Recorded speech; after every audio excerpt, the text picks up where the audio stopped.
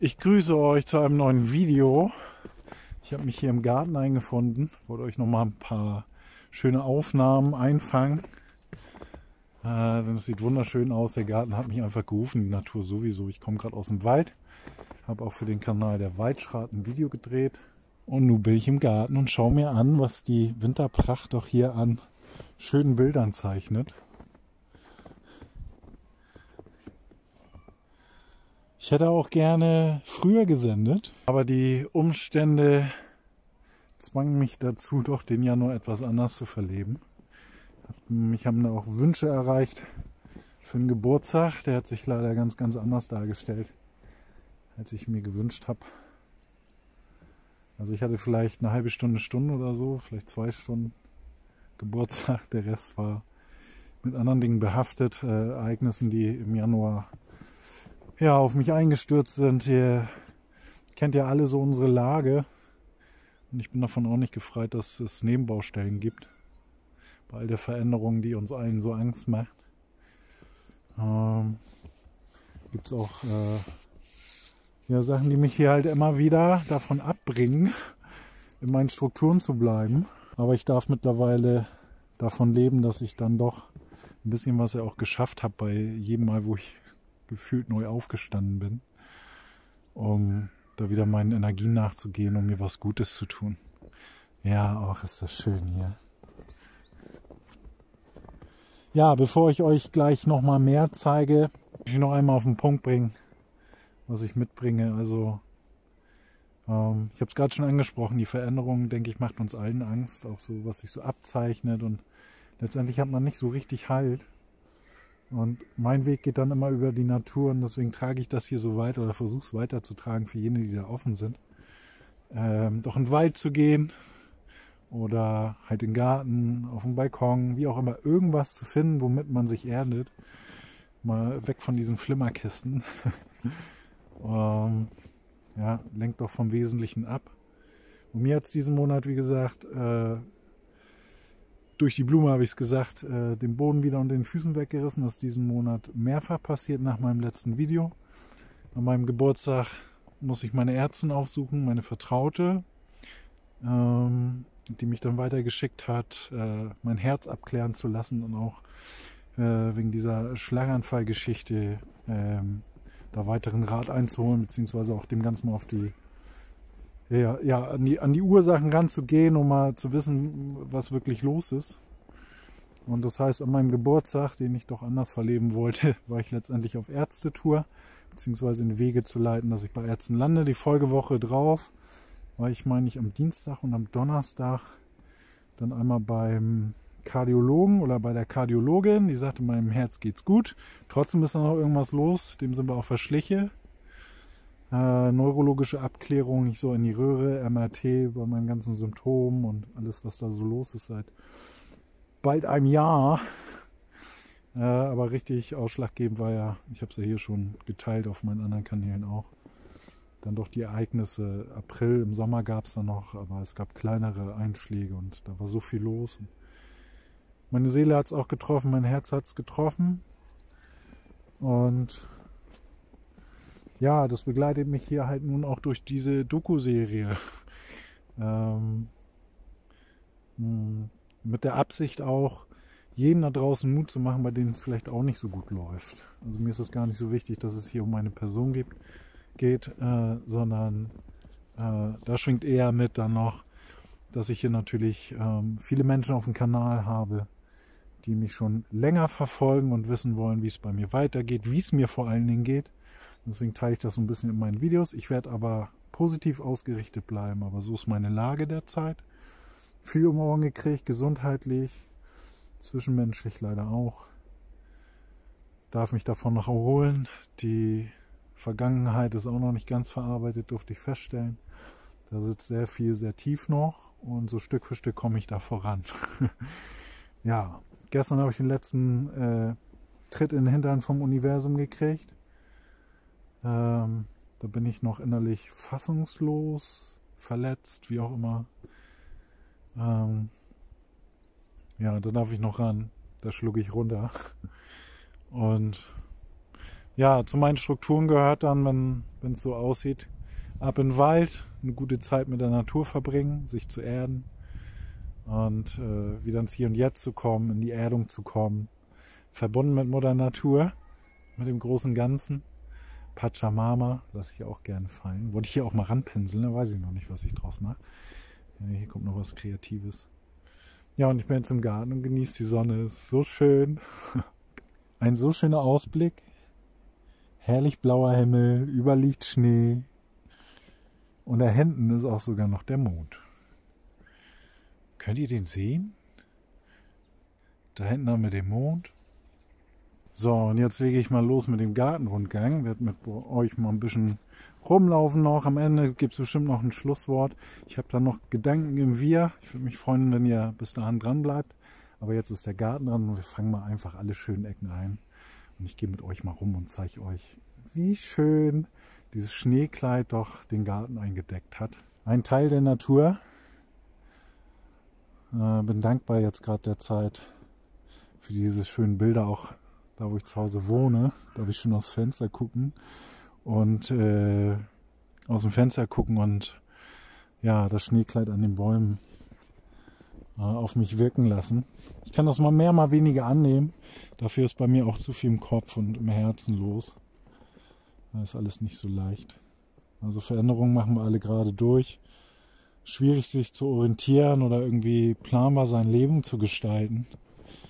Und ja, wie ihr sehen könnt, das Erden mit der Natur hilft auf jeden Fall ein Stückchen und schenkt mir auf jeden Fall ein bisschen Freude, auch das wieder machen zu dürfen, was ich ganz gerne mache, Videos zu drehen und mit euch die Natur zu teilen und alles, was ich da so einfangen darf. Oh. Ja, so schön. Übrigens habe ich äh, letztes Mal hier, glaube ich, gestanden und dann hat mich äh, bei der äh, Aufnahme beim Start des Videos dann doch was abgelenkt. habe ich immer. Also wenn ich nicht verkehrt liege, dürfte das eine Eule sein, die mich sogar mehrfach schon begleitet im Wald hier hinten und flog auch beim letzten Mal, wo ich hier vorne war oder vorletzten Mal, einmal so quer über mich rüber, so von hinten kommt in über den Garten. Das war eine Freude, äh, könnt ihr euch nicht vorstellen. Ähm, ja, also wer sowas mal von nah beobachten durfte, ein, einfach durchs äh, Erlebnis in der Natur, wird es mir natürlich nachvollziehen können. Aber jene, die das nicht so kennen, denen empfehle ich mal einfach den einen oder anderen Spaziergang draußen, in den Wäldern, irgendwo auf Landwegen, am Meer. Gibt so viel Natur zu genießen und äh, es gibt überall große Vögel. Und hier darf ich auf jeden Fall immer mehr begrüßen und auch, auch so die Ereignisse hier mit dem Störchen hier über, über meinem Garten. Ich weiß gar nicht, ob ich das so geteilt habe bisher.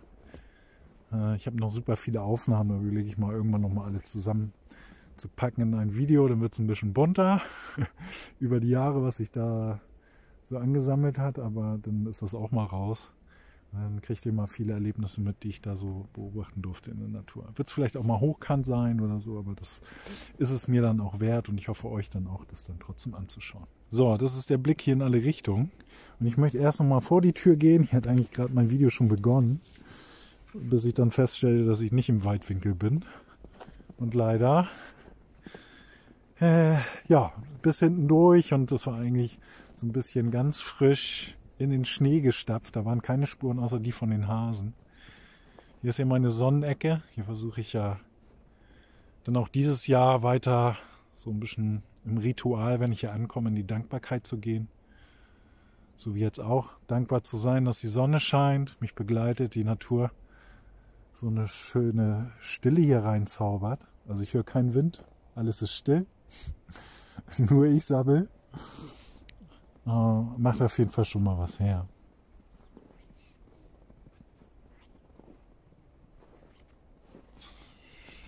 Ja, viel erlebt. Ganz schön viel haben wir erlebt. Na gut, ich schweife ab. Sorry, das ist äh, mein Leben ist gerade nicht so einfach.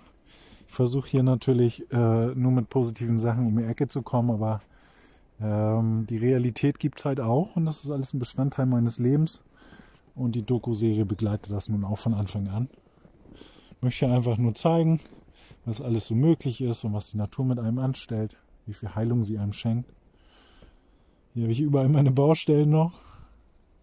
Aufgrund dieser ganzen Erlebnisse, vor allen Dingen letztes Jahr, äh, ja, hat es mich doch immer wieder aus dem Leben gerissen. Und doch stehe ich wieder hier und gebt nicht auf. Gleiches wünsche ich euch, dass ihr da in eure Mitte findet, ins, ins Herz, in die Herzzentriertheit, raus aus dem Kopf.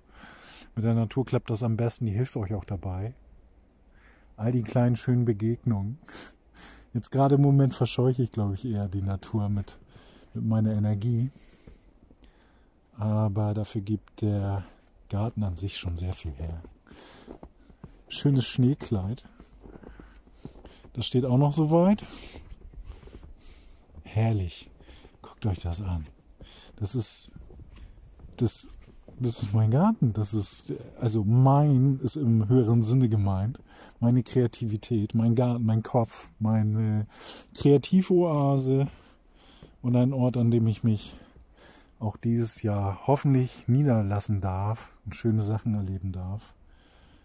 Bei allem, was so war, auch an Vandalismus, allem, was da so war, was mir geklaut wurde an Ernte, bei allem, was ich erleben durfte, wo mir gefühlt echt, echt Steine im Weg gelegt wurden. Einfach vom Universum. Ich, ich denke jetzt nicht an einen oder so, sondern einfach, weil die Umstände das so hervorgebracht haben. Ja, aber es ist doch schon schön hier, finde ich. Also man sieht auf jeden Fall, dass ich die letzte Zeit bei war. Im Dezember, Anfang Januar, als ich hier gewütet habe mit den Brombeeren. Auch da schon mal ein bisschen überall bei war.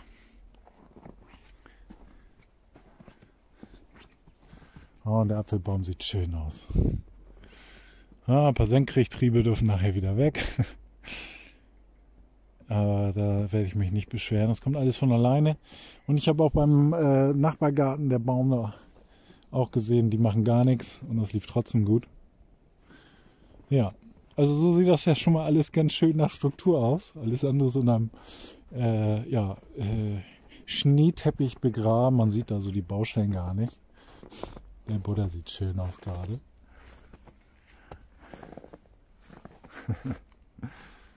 oh. Was ein schönes Fleckchen Erde, was ich hier immer wieder neu entdecken darf. Ja, jetzt habe ich letztendlich schon äh, gesagt, was ich sagen wollte. Ähm, Im Wir. Bin auch gar nicht mehr so weit erhaschen. Also auf diesem Kanal wird es weitergehen, sofern ich darf. Die Ereignisse überschlagen sich ja bei uns allen. Und ich werde auf jeden Fall meine Anzucht ins Visier nehmen.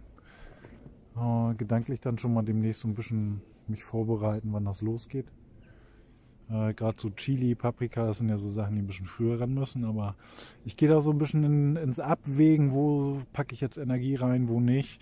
Da mache ich ein paar Sachen anders, dass ich da ja, Ressourcen schont, auch meine eigenen, auch wieder voranschreiten darf. Ähm, ja, muss ich nochmal selber forschen, wie ich das letztes Jahr noch gemacht habe in meinem Hinterstübchen.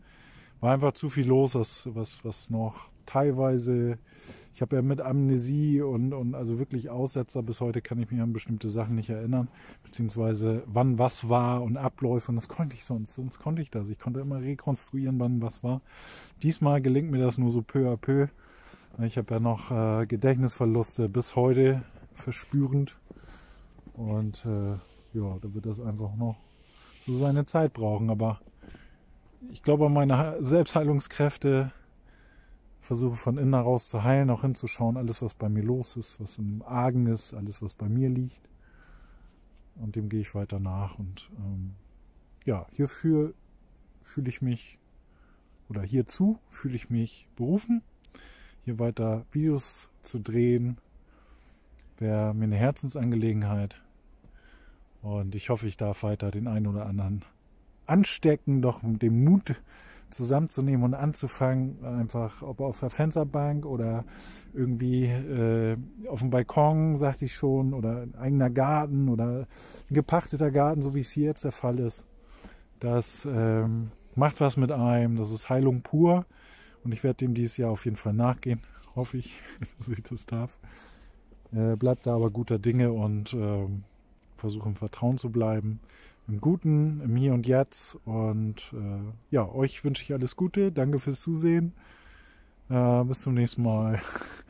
Äh, und nächstes Mal natürlich in alten, gewohnten Bahnen, hoffe ich. Ne, und nicht wieder also geht echt so, so drei Schritte vor, zwei zurück, drei Schritte vor, ein zurück, drei, so bam, bam, bam, bam.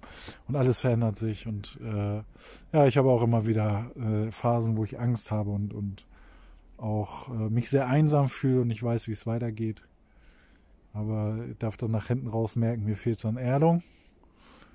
Und äh, ja, innere Klarheit, alles, was da so in der Seele schlummert oder auch, auch vom, vom Leben noch in einem schlummert, auch in Erinnerungen, Gedanken im Kopf. Das möchte alles verarbeitet werden, braucht seine Zeit. Und ja, das ist so mein Weg und das werde ich weitermachen. Hier mit dem Garten hoffentlich. Okay. Ähm, ich wünsche euch alles Gute. Bis dahin, jetzt bin ich aber raus. Jetzt geht's wieder nach Hause bisschen kalte Füße gekriegt. ja, seit einer Woche habe ich auch noch eine, eine dicke Erkältung. Beziehungsweise das mit dem Schnupfen ist schon fast weg. Ich hoffe, das darf bald ausheilen, aber so ein bisschen reinigt sich die Nase ja sowieso. Äh, Naseputzen ist trotzdem regelmäßig angesagt. Der Körper reinigt sich. Oh, Sonne. Ja. Ich glaube, die Woche soll ich noch ruhig machen, aber ich habe Hummeln im Moos hier weiterzumachen. Oh, guckt euch das an. Habe ich gar nicht gezeigt. Für alle, die da so geduldig dran geblieben sind. Hier tropft das überall runter.